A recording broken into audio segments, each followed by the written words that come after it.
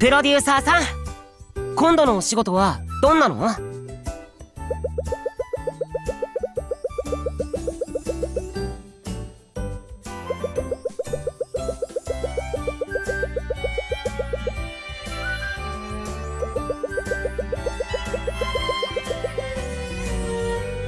え面白そう。わかった。聞いてくるね。ちっちゃい頃の僕の可愛さでお茶の間のみんながメロメロになっちゃうかもね。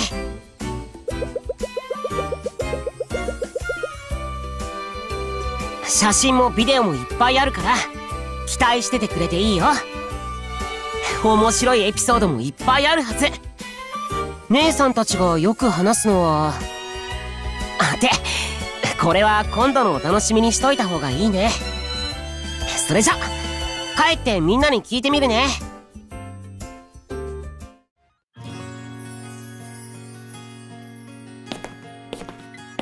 ねえねえ。ちょっと聞きたいことがあるんだけど。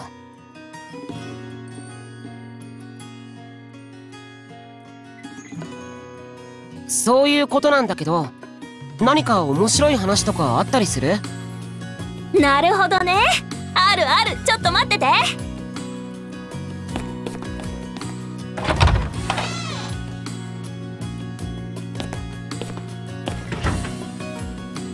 お待たせ。すごい量。これ全部僕の？そうそう。これは翔太の幼稚園の入園式の写真でお母さんと離れたくないって泣いちゃって。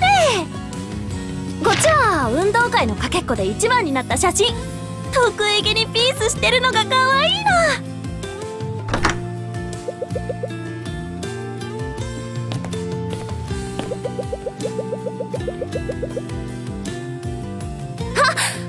ゃんとお母さんが帰ってきた。ねえねえ聞いて翔太が。ああちょっと。あ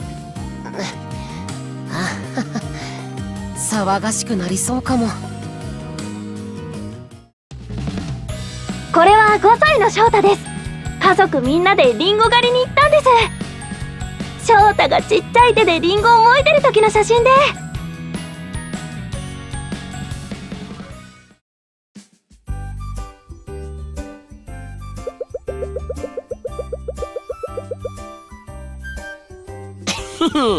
当然。だって僕可愛いしスタジオのみんなもちっちゃい頃の僕の虜になってたね。プロデューサーさんにそう言ってもらえて嬉しいな。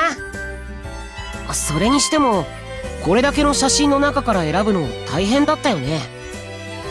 多すぎるとプロデューサーさんが困っちゃうよって言ったんだけど。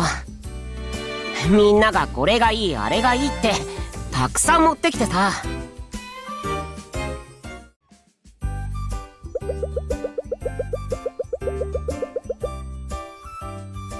そうだよね。それじゃあ僕が代わりにプロデューサーさんに話してあげる。これはハロウィンでシーツお化けの格好をした時の写真。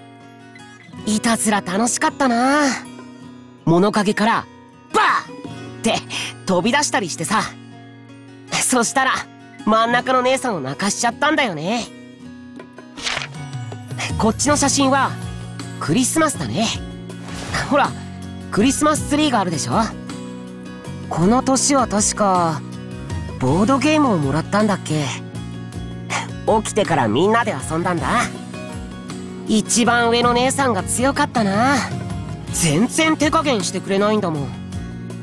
勝てるまで何回も勝負して勝てた時は嬉しかったな。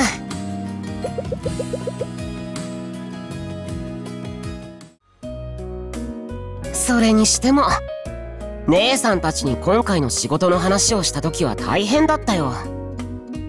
みんなしてあの話がしたい出たいって聞かなくてさ。みんなテレビに出たがりなんだから。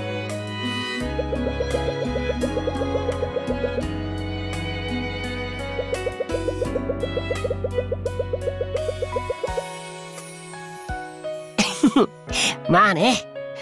僕ってみんなに愛されちゃってるから。